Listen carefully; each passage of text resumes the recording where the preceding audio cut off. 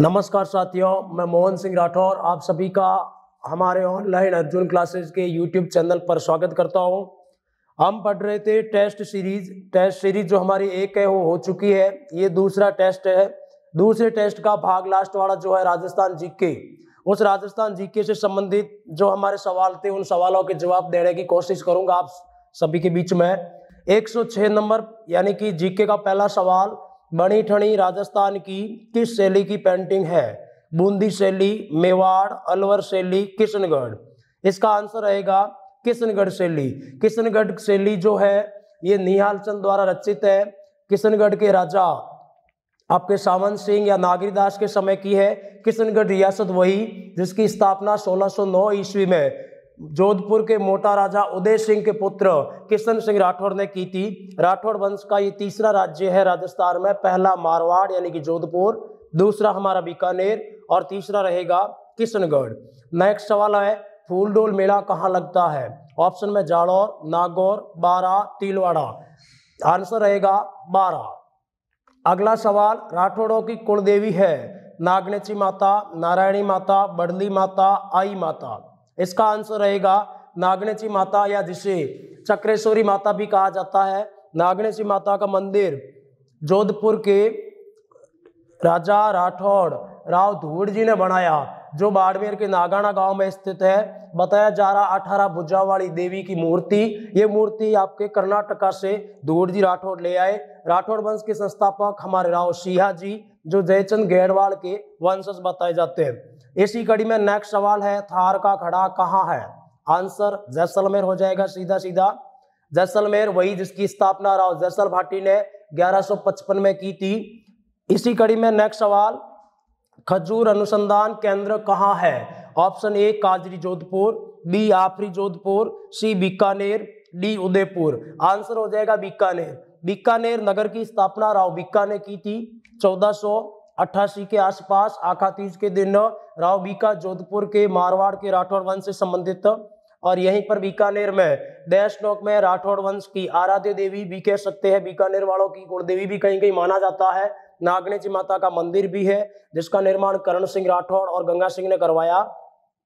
अगला सवाल, डावरिया प्रथा किससे संबंधित है? ऑप्शन में विवाह से, दास प्रथा से, मृत्यु भोज से, जन्मोत्सव से। आंसर हो जाएगा दास प्रथा। डावरिया प्रथा का मतलब प्राचीन समय में राजा महाराजा अपनी पुत्री को साथ में, दहेज में देते थे, इसे कहा जाता डावरिया प्रथा।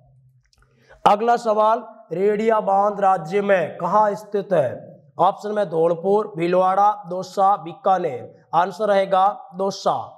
नेक्स्ट सवाल रहेगा, किस चित्रकार को मोर ध्वज कहते हैं? सीताराम लालस, निम्बाराम या बिम्बाराम, पिकासो निहाल चंद आंसर रहेगा निहाल चंद निहाल वही, है ना? निहाल चंद वही, जो आपके किशनगढ़ के राजा सामंत सिंह या नागरी दास के दरबार में निवास करते। इन्होंने बताया जा रहा, अच्छे अच्छे फ़ोटो बनाई।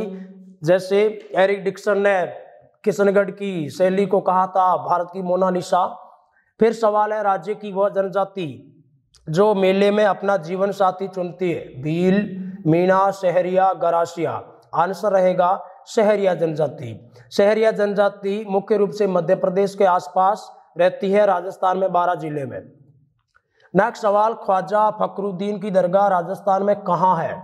ऑप्शन में बयाना, सरवाड़, अजमेर, नागौर, जयपुर। आंसर रहेगा सरवाड़ अजमेर। ख्वाजा फकरुद्दीन की दरगाह अजमेर में है और ख्वाजा मोइनुद्दीन सिश्ती जो है, उनकी भी अजमेर में ही है। ख्वाजा मोइनुद्दीन सिश्ती वो जो आपके चंद आपके गोरी के साथ में आए थे पौतरा चौहान तृतीय के समय अजमेर में। नेक्स्ट सवाल, राज्य में सर्वाधिक गन्ने का उत्पादन कहाँ होता है? जालौर, जोधपुर, झालावाड़, बूंदी। आंसर हो जाएगा बूंदी। गन्ना जो है भारत की एक प्रमुख नकदी फ़सल है और इस गन्ने का सर्वाधिक उत्पादन जो है ब्राज़ील देश करता है। गन्ने के उत्पादन में भारत का दूसरा नंबर है, यह स्थान है।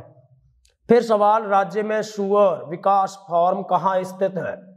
जयपुर, चूरू, उदयपुर, अलवर। आंसर रहेगा डी, अलवर। अलवर में ध्यान देना, शुरू का एकमात्र प्रशिक्षण केंद्र भी खोला गया है।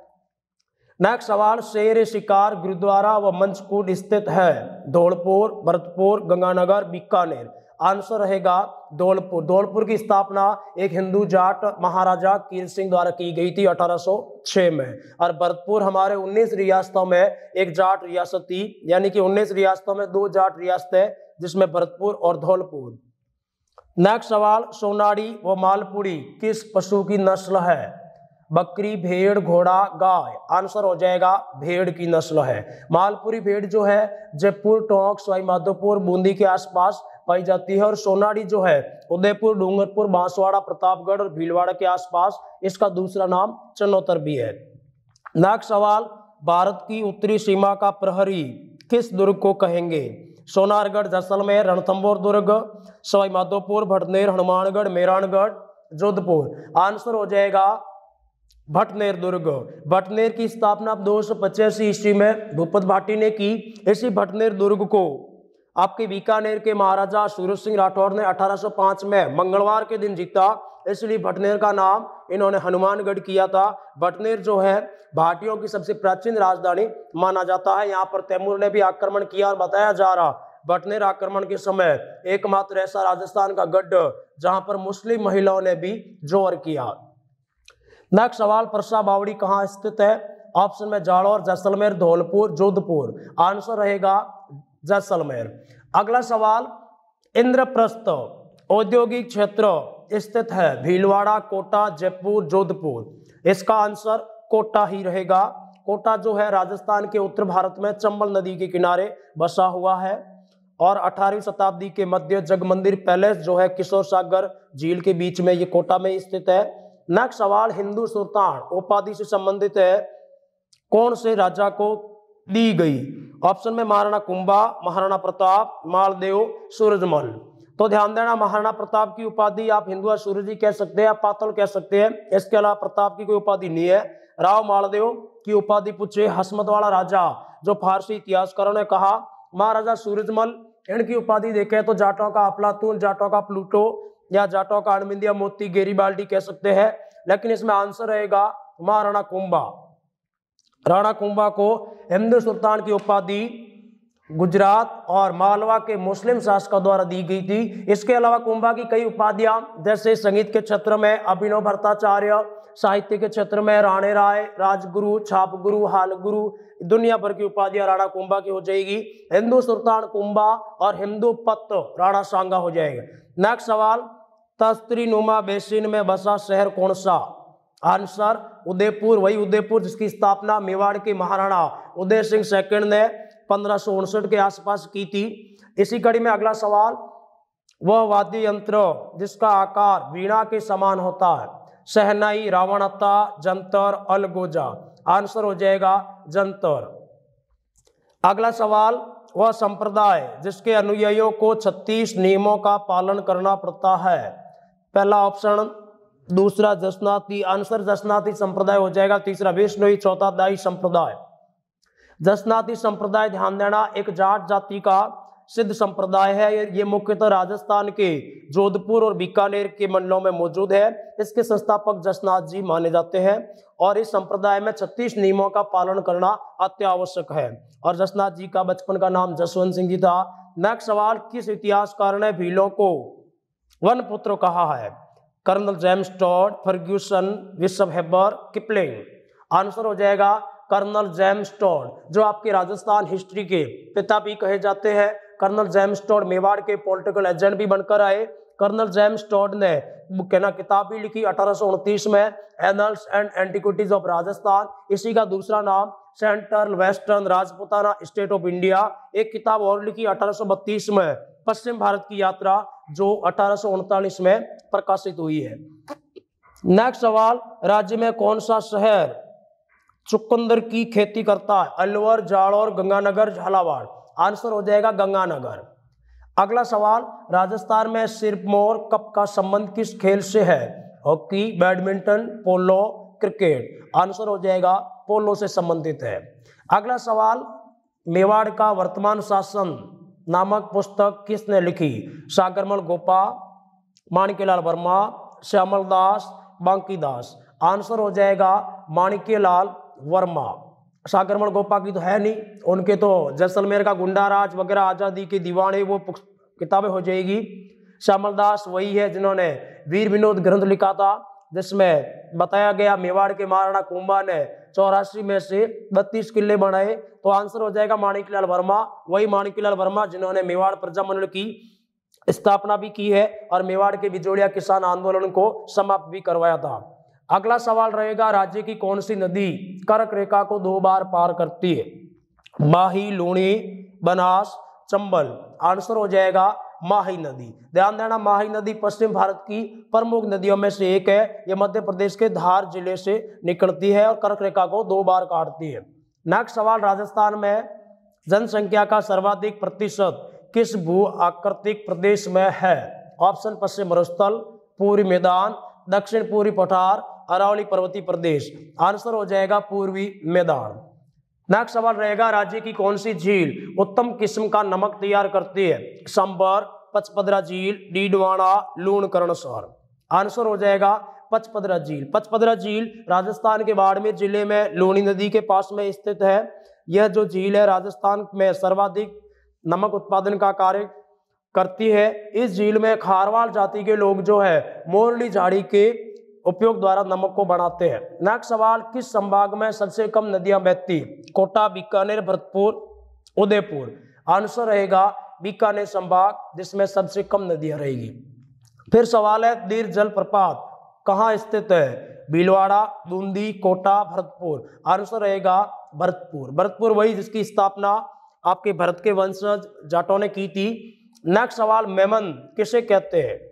ऑप्शन ए, हाथ में पहने जाने वाला आभूषण, बी, पैरों में पहने जाने वाला आभूषण, सी, कमर का, और डी, सिर का। तो ध्यान रहना मेमन जो है, सिर पर पहने जाने वाले आभूषण को कहा गया है। नेक्स्ट सवाल रहेगा, मरते समय मुँह में शराब की बूंदे डालने का प्रचलन कौन सी जनजाति में है? कथोड़ी कंजर, डामोर, मीणा। आंसर रहेगा कणजन है ना, कंजर। फिर सवाल, गुणिजन खाना बाईसी संबंधित है। सवाई ईश्वरी सिंह, जय सिंह, मान सिंह, प्रताप सिंह। आंसर रहेगा सवाई। प्रताप सिंह के दरबार में गुणीजन खाना निवास करते, यानी कि 22 विद्वान लोगों की टोली रहती थी। सवाई प्रताप सिंह जी वही जिन्होंने हवा महल का निर्माण भी करवाया, जयपुर में सत्रह सौ निन्यानवे में, और सवाई प्रताप सिंह स्वयं भी ब्रज निधि के नाम से कविताओं की रचना करते थे। नेक्स्ट सवाल, बम नृत्य का संबंध का किससे है? अलवर करोड़ी अलवर भरतपुर भरतपुर करौली करौली सवाई माधोपुर। आंसर रहेगा बी अलवर भरतपुर। फिर सवाल तेजाजी लोक देवता का जन्म स्थान कहाँ है? सुरसुरा परबसर जेतारण, खरनाल। आंसर हो जाएगा खरनाल। तेजाजी लोक देवता जो है, खरनाल में जन्मे, इनके मंदिर भी है, यहाँ पर मेले भी लगते तेजाजी की याद में तेजाजी की घोड़ी का नाम लीलन था, जो तेजाजी की मृत्यु का समाचार ले गई थी। नेक्स्ट सवाल, लोहारगल मेला संबंधित है। झुंझुनू, सिक्कर, चूरू, बीकानेर। आंसर रहेगा झुंझुनू वही जिसकी स्थापना झुंझा ने की है।